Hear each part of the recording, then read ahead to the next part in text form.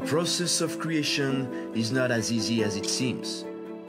Some people perform in this art while others are struggling with it. Many times thinking about what to tell, what to show, and how.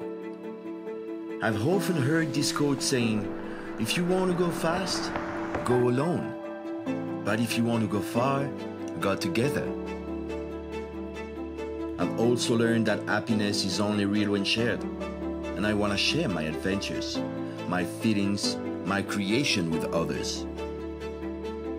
Create for me is a way to exist, a way to express myself, but also a way to meet new people, friends, sharing the same passion and creativity, helping each other when needed. Sharing your passion with other people like you is also a way to learn, to evolve to be inspired and to go on adventure you would never imagine doing before.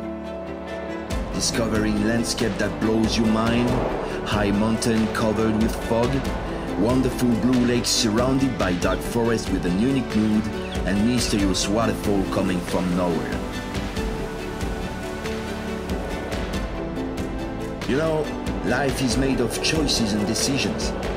Do you want to see life running in front of you, or do you want to be the main character of your own movie?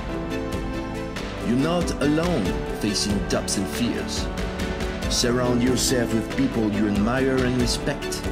Live for the moment, capture emotions, and build memories you'll keep forever in your mind. That's the purpose of travel.